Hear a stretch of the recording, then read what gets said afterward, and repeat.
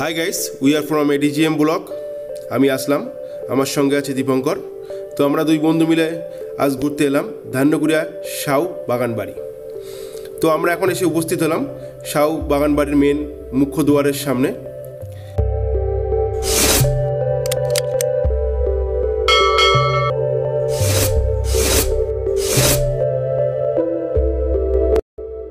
এটি হলো শাও বাগান বাড়ি ঢোকার মেন ফটক।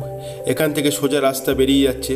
সোজা রাস্তা দিয়ে সোজা গেলেই পড়বে শাও বাগান বাড়ি তো আমরা আস্তে আস্তে শাও বাগান বাড়ির দিকে এগাচ্ছি। দূর থেকে শাও বাগান বাড়িটি দেখা যাচ্ছে। তো রাজবাড়িটি তার রাজকীয় ভঙ্গি নিয়ে স্তম্ভের মতো দাঁড়িয়ে আছে। আমরা আস্তে আস্তে বাইক নিয়ে এগিয়ে যাচ্ছি শাহু রাজবাড়ির দিকে। তো শাহু রাজবাড়িতে আমরা প্রবেশ করব, এই জায়গা সম্বন্ধে আপনাদের জানাব এবং সম্পূর্ণ জায়গাটি ঘুরে ঘুরে দেখব এবং এখানে যে পিকনিকের আদর্শ স্থান কেন বলেছি সেটাও আপনাদের বলব। সমগ্র রাজবাড়িটা ঘুরে ঘুরে দেখব। আমাদের সঙ্গে থাকুন, ভিডিওর শেষ পর্যন্ত। ভিডিওটি অনেক ইন্টারেস্টিং হতে চলেছে। এই রাজবাড়িটি সত্যি অদ্ভুত প্যাটার্নে তৈরি। এই রাজবাড়ির যে দিক থেকেই আপনি দেখবেন সেই দিক থেকেই আপনার মনে হবে যে রাজবাড়ি সেই দিকটি আপনার সামনের দিক। শিল্পীর হাতের সর্বশ্রেষ্ঠ কাজের নিদর্শন দিয়েছে এই রাজবাড়িতে। এই রাজবাড়ির উপরের দিকে ডিজাইনটি দেখলে আপনারা দেখতে পাবেন যে অতুলনীয়, সুন্দর যে পরীর ডিজাইন তারা তৈরি করেছে, দেখলে রোমাঞ্চকর এবং মনোমুগ্ধকর। আমরা এখন দাঁড়িয়ে আছি রাজবাড়ির পশ্চিম দিকে। তো পশ্চিম দিক থেকে রাজবাড়ির দিকে দেখলে যে অপরূপ সুন্দর ডিজাইন, যে অপরূপ সুন্দর ভিউটি দেখতে পাবেন, সেটি আপনাদের দেখাচ্ছি। দেখলে সত্যি দাঁড়িয়ে দেখতে ইচ্ছা করবে এই স্থানে। অপরূপ ডিজাইন দিয়ে ভরানো এই রাজবাড়ির পশ্চিম দিকের অংশটি। ভগ্ন পাঁচিলের মাঝখানে মানুষ তৈরি করেছে একটি দরজা। সেই দরজার ফাঁক দিয়ে উঁকি মারলেই দেখা যাবে রাজবাড়ির পিছনের দিকের একটি অংশ। তো এখান থেকে যতটুকু দেখানো সম্ভব হলো, আপনাদের দেখালাম। পরবর্তীতে রাজবাড়ির ভিতরে ঢুকে আপনাদের পিছনের দিকের ভিউটি আপনাদের দেখাবো। এবার আমরা হাঁটতে হাঁটতে আস্তে আস্তে এগিয়ে যাব রাজবাড়ির দক্ষিণ দিকের অংশে। তো রাজবাড়ির দক্ষিণ দিক থেকে দেখলে রাজবাড়ির সুন্দর যে ভিউটি দেখা যায়, সেটা আপনাদের দেখাচ্ছি। তো দক্ষিণ দিক থেকে যেদিকেই তাকাবেন চারিদিকে বাগান আর বাগান। এবার আমরা হাঁটতে হাঁটতে এগিয়ে যাচ্ছি শাহবাড়ির ঠিক দক্ষিণ দিকের অংশে। তো এসে উপস্থিত হলাম শাহবাড়ির দক্ষিণ পুকুর ঘাটে। তো এই পুকুরটি শাহবাড়ির দক্ষিণ পুকুর নামে বিশেষভাবে পরিচিত।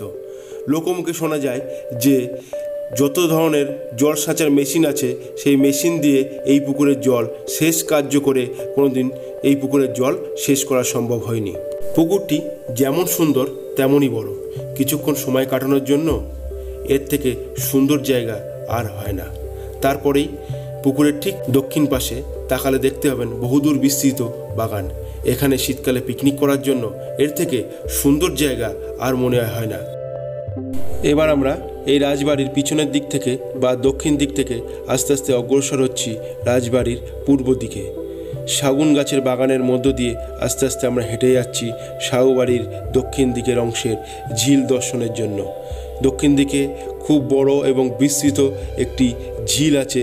ঝিল দেখার জন্য আমরা আস্তে আস্তে এগিয়ে যাচ্ছি শাহবাড়ির দক্ষিণ দিকের অংশে।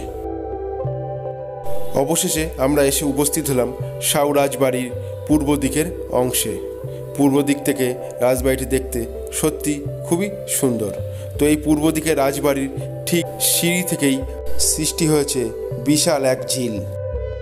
তো এই বাগান বাড়ির পিছনের সাইডটি এবার দেখতে পাচ্ছেন? একদম পিছনে চলে এসেছি, ঠিক পূর্ব দিকে। এই রাজবাড়িটির ঠিক পিছনে পিছনে একটি ঝিল দেখতে পাচ্ছেন। বিশাল আকার ঝিল, অনেক দূর চলে গেছে, ক্যামেরা যতদূর দেখানো সম্ভব হচ্ছে দেখাচ্ছি। আমাদের চোখে যতদূর দেখতে পাচ্ছি না পুরোটা। এটি হলো বাগানবাড়ির একদম পিছনের সাইড এবার আমরা ঝিলের ধার দিয়ে আরেকটু পিছনে যাওয়ার চেষ্টা করছি। রাজবাড়ির আরও কিছুটা পিছনে আপনাদের পিছনের দিকের ভিউটা দেখানো যায় কি না সেটার জন্য চেষ্টা করছি। ভীষণ জঙ্গল, একদম রাজবাড়ির পুরো পিছনে, পুরো পূর্ব দিকের ভিউটাকে আপনাদের দেখানোর জন্য জঙ্গলের ভিতর দিয়ে যাচ্ছি এই ঝিলের ধার দিয়ে।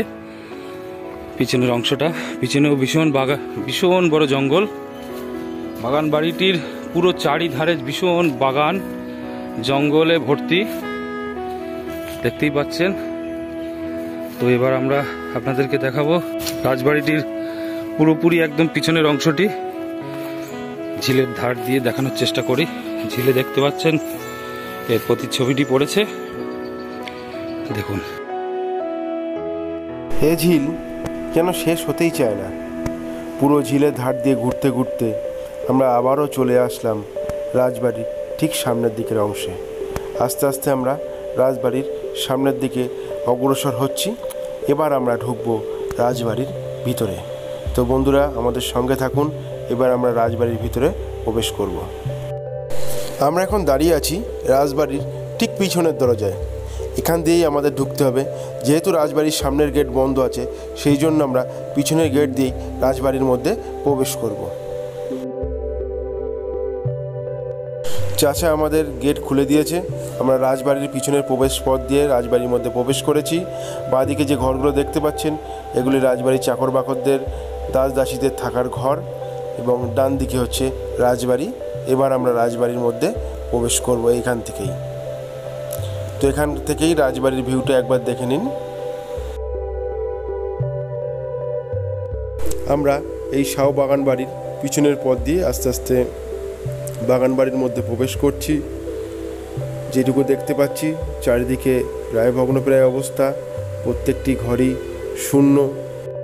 নেই কোনো আসবাবপত্র, নেই কোনো আড়ম্বর, চারিদিকে শুধু ঘরগুলো শূন্য খা খা করছে। আমরা আস্তে আস্তে এগিয়ে যাচ্ছি মেন সিঁড়ির ঘরের উদ্দেশ্যে। প্রত্যেকটি ঘরই শূন্য এবং বেশিরভাগ ঘর তালাবন্ধ। আমাদের চাচা গেট খুলে দিচ্ছে। এবার আমরা আস্তে আস্তে এগিয়ে যাব সিঁড়ির ঘরের উদ্দেশ্যে।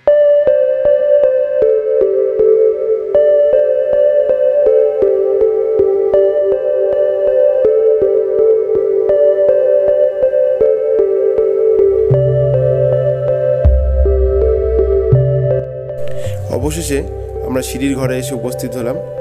আমরা সিঁড়ি পেয়ে আস্তে আস্তে উপরের দিকে উঠছি। দেখুন, সিঁড়িটি পাথর বসানো হলেও সিঁড়ির মেন নিচের অংশ কাঠ দিয়ে তৈরি এবং সাইডে কাঠের ডিজাইনটি দেখলে সত্যি খুবই সুন্দর লাগে। তো আমরা আস্তে আস্তে সিঁড়ি দিয়ে উপরের দিকে অগ্রসর হচ্ছি। অবশেষে আমরা ফার্স্ট ফ্লোরে এসে উপস্থিত হলাম। তো ফার্স্ট ফ্লোরের মেন প্রবেশদ্বার তালাবন্ধ থাকার জন্য আমরা ঢুকতে পারলাম না। এবার আমরা ছাদের দিকে অগ্রসর হব।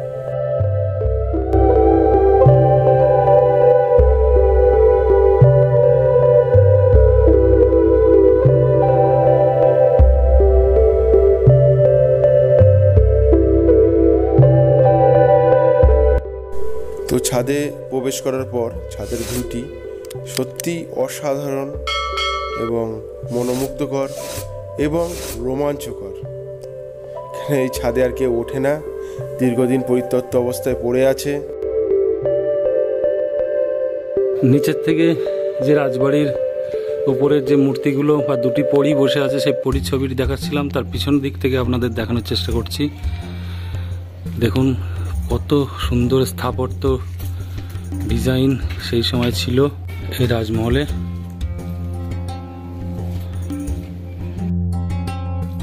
তো আমরা এখন এসে উপস্থিত হয়েছি এই রাজবাড়ির ছাদের একেবারে শেষ প্রান্তে। তো এখানে এসে দেখতে পাচ্ছি এই ছাদের উপরে আরেকটি যে ছাদটা আছে, সেই ছাদে ওঠার জন্য একটি কাঠের সিঁড়ি আছে। তো আমরা এখন এই কাঠের সিঁড়ি বেয়ে উপরের দিকে উঠব, উপরে উঠে কি দেখা যায় সেটি দেখব। তো উপরে ওঠার পর দেখতে পেলাম যে ফাঁকা ছাদ উঠতেও ভয় লাগছে, ফাঁকা ছাদে আর কিছুই নেই, সম্পূর্ণ ছাদটি ফাঁকা। ছাদ দিয়ে হেঁটে যেতে যেতে হঠাৎই চোখে পড়ল একটি ভগ্নপ্রায় জানালা। সেই জানালা দিয়ে উঁকি মারতেই বেরিয়ে পড়ল এই ছাদের নিচে একটি অন্দরমহলের দৃশ্য। ভিতরেও একটি অন্দরমহলের ছবি আপনাদের দেখানোর চেষ্টা করছি। দরজা সবই বন্ধ, ছাদের উপরে খিড়কির জানালা দিয়ে আপনাদের দেখানোর চেষ্টা করছি। এই বাগান বাড়ির ভিতরে একটি ঘর।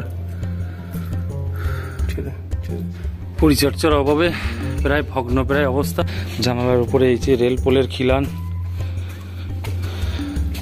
নিচের যে ঘরটি দেখালাম তার উপরে জানালা। এখান থেকে সেই দক্ষিণ দিকের পুকুরটি দেখা যাচ্ছে ছাদের উপর থেকে।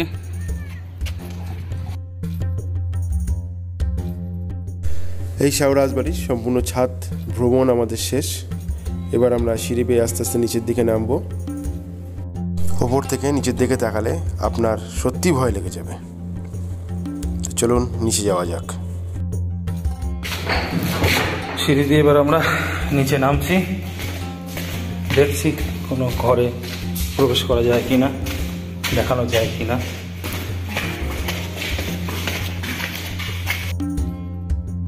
সিঁড়ির নিচের কারুকার্য দেখুন। সিঁড়ির নিচে পুরো কাঠের একটা বেশ পাটাতন দেওয়া এবং তাদের ডিজাইন করা। পাশে উপরে পাথর বসানো এবং লোহার রেলিংয়ের ডিজাইন। ঘরে যেতে পারলাম না, দুঃখিত দর্শকরা। ঘরে তালা দেওয়া, প্রবেশ নিষেধ। লাস্ট একটা ঘর অন্তত আপনাদের জন্য দেখাতে পারছি। চলুন দর্শকরা দেখি। একটি ঘরের একটু দরজা, খোলা পাওয়া গেছে।